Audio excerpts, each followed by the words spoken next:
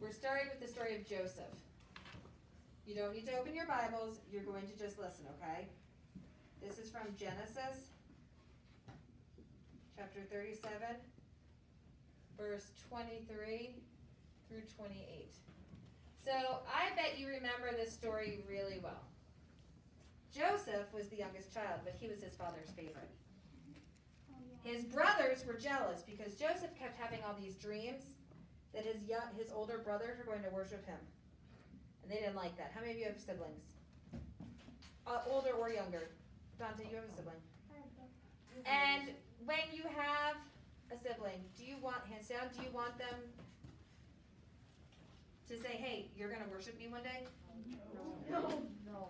Joseph's brothers were no exception. They're like, uh-uh, no, we're not. Like, you're the little brother, learn your place, friend. But, so he had all these dreams that they were going to worship him. They did not like this. His father was kind of like, calm down, friend. But Joseph didn't. So this is the story, remember, where Joseph's dad gave him the really fancy coat? Yeah. And when he got the coat, his brother, he had to go out and check on his brothers, and they threw him down a well. They were going to kill him, but one brother said, no, let's not. So they took the coat and they ripped it and they put the sheep's blood on it so his dad would think he was dead, and they sold him into slavery. Well, he ends up in Egypt, Yeah. which is where a lot of the Old Testament takes place. Mm-hmm. So in Egypt, he ends up working for the Pharaoh. Mm-hmm. And he warns the Pharaoh about a famine that's coming. Famine is when there's no crops, no food. And because of Joseph, the Pharaoh knew in advance and he was able to set aside food. So when the famine came, Egypt still had food. Joseph's brothers came to find him and asked, because they had to come to Egypt to get food.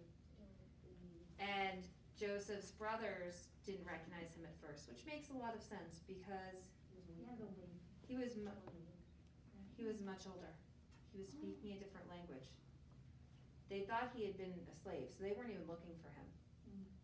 I like to compare this to when you see your teacher at a grocery store when you were little, and you just don't recognize them, and it doesn't make any sense. Because I know, like sometimes we'd go out and we'd see people, and you're like, "Wait, what are you doing here?" Because you're not expecting to see your teacher at like Publix. So, same type of thing, much more dramatic. Joseph eventually ends up forgiving his brothers. But now the Israelites are living in the land of Egypt. Are you with me? That's how we get from rowing to Egypt. Kelly. Isn't this like before Moses and then like after that? Yeah, we're getting to Moses. He's coming today too. The next slide, so that's Joseph. Joseph helps. or, sorry. Joseph is sold into slavery by his brothers. That's that slide. The picture for this one is usually the coat. Yes.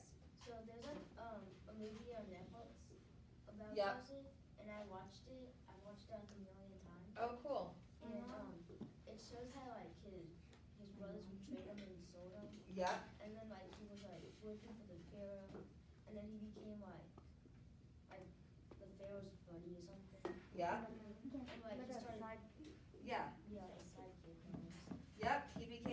His right hand man. Yeah. And then he started like working for him, and uh he started like growing crops so they'd have enough food. Yep.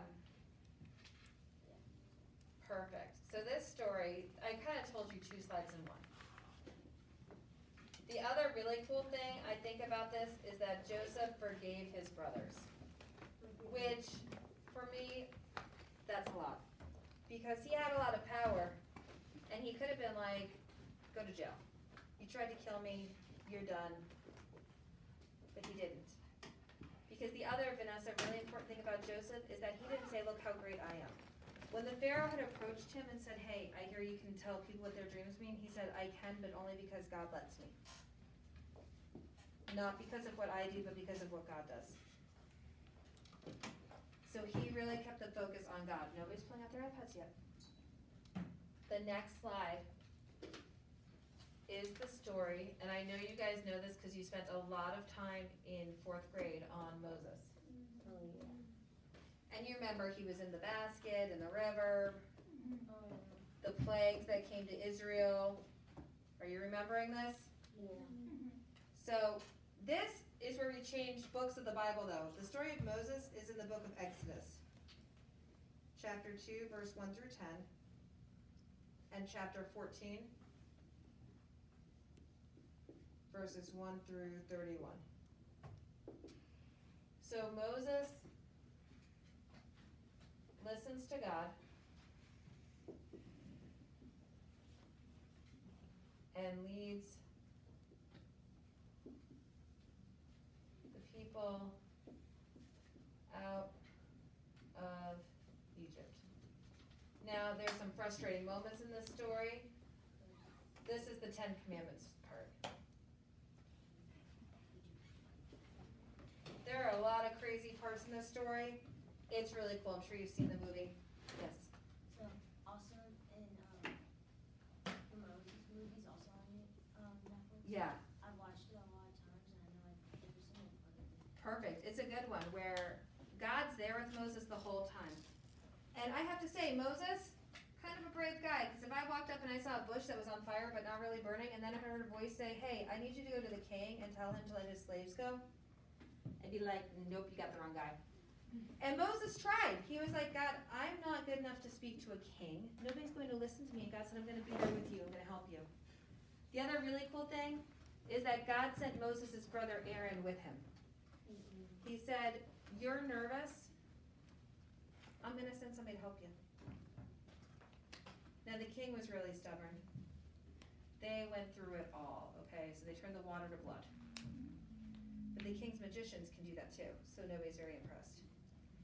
They go through water to blood, animals die. There's gnats, there are flies, there are frogs. There's a hailstorm. And the hailstorm is really bad. It's the worst thing the king has ever seen. And so he says, Okay, you know what? Go. Go, Moses. Just go. Well, then when the storm stops, the Pharaoh's like, You know what? It's really not that bad. Y'all should stay. You're staying.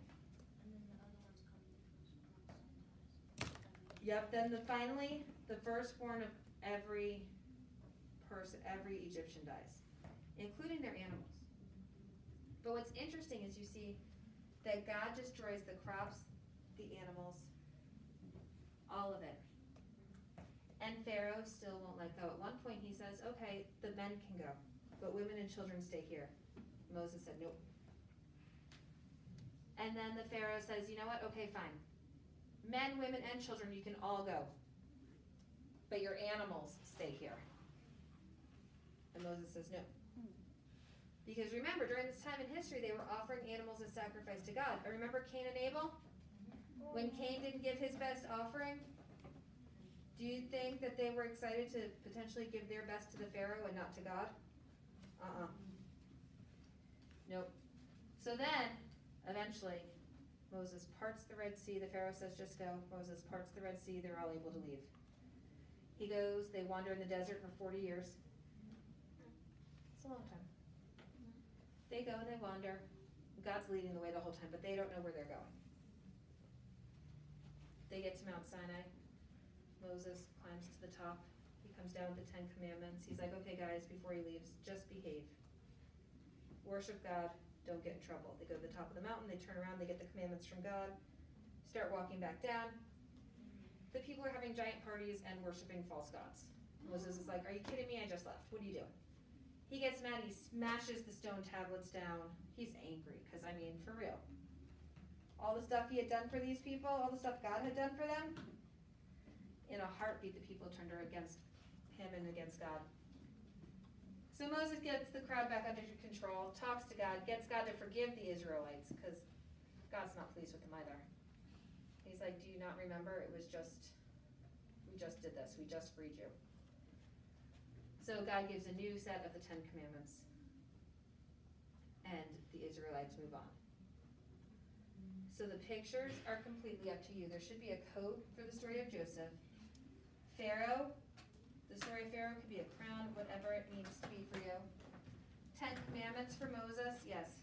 Didn't like they start worship, worshiping like a gold cow? Yep, they worship the golden calf. All right, Dante Cut. You have